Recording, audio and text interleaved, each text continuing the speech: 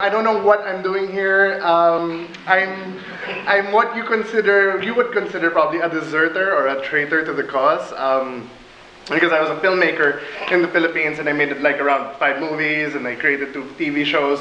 And then after 10 years in the industry, I left, like the, the, the day after the premiere of my last movie, I left to go to business school.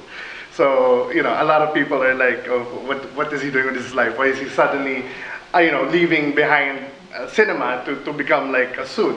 And um, the reason I did this was when I started making films, and the Philippine film industry was making around 190 films a year. This was like 2002. And now we're making around 25 films a year. So imagine, you know, the drop, and that's because of piracy, television, all of these things. And I wanted to kind of, I realized I could maybe help the industry more as a businessman as opposed to a filmmaker, uh, just like one single filmmaker uh, I, if I became a businessman who understood the creative process and who respected creators, then maybe I could be of more help to the industry. And, and what better way, where better place to go than the center of entertainment in the world, which is Hollywood, right? And so I came here and I realized that the same thing was happening in the US. So things get scary. There's this guy, he's a very, very famous filmmaker, Terrence Malick, and his, his new movie just came out. And I saw the trailer, like, wow, this is a new Terrence Malick movie. And it, and it said available on iTunes. The same day it's available on the theaters. And I realized things are getting bad. Because right now people have kind of stopped going to the theaters and to cope, either they're releasing DVDs earlier or they're releasing like art films day and date.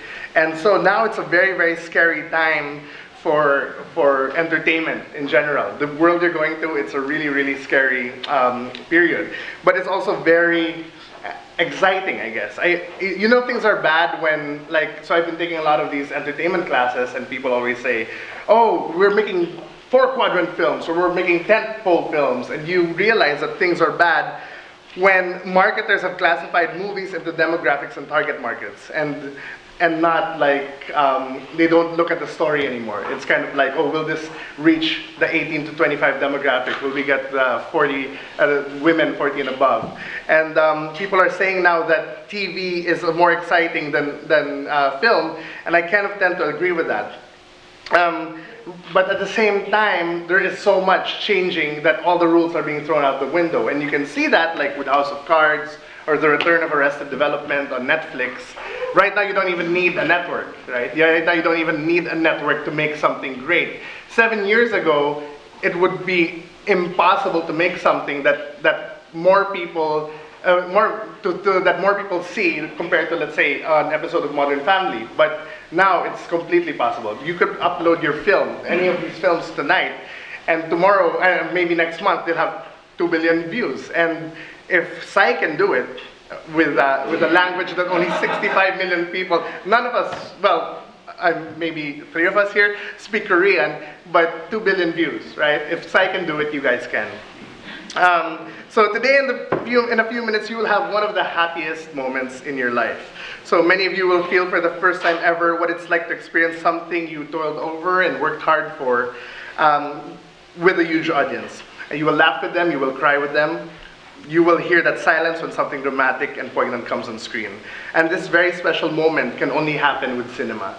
Because, for example, um, as opposed to a play or a concert where you're performing for your audience, or like a TV show or a book where people are consuming your work in the, in the comfort of their own privacy, cinema is the only medium where you experience your work with your audience en masse. And I remember experiencing that for the first time during my own short film screening when I was in college. And I have to confess, I became addicted to that feeling. And that's when I realized I wanted to become a filmmaker for the rest of my life. And, and then I went to business school. Uh, but yet with this comes a hard realization. From this point onward, your film is no longer yours. And it's hard to realize that, and it's hard to accept that. And no matter how hard I try to convince you of this, you will never truly be able to accept it. I know because you know, I've been trying to convince myself this for a decade and I still, I still fail.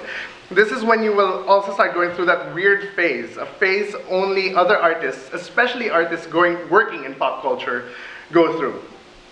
A lot of people will be congratulating you, a lot of people will be saying, this is awesome, awesome work, and you'll be like, it's a complete high. And then the next day you're gonna Google your film, and then you'll see a tweet, like a 140 character tweet saying, oh, this guy's film sucked, and then you'll just get really depressed. and, um, so just one just 140 character tweet could ruin your day, and you will doubt yourself, and you may go so far as to question your value as an artist or the validity of your voice. So I guess the only advice I can give you is this. In the end, it comes down to the relationship between you and your work. As counterintuitive as it may seem, you have to make your work for yourself. You have to be true to your voice.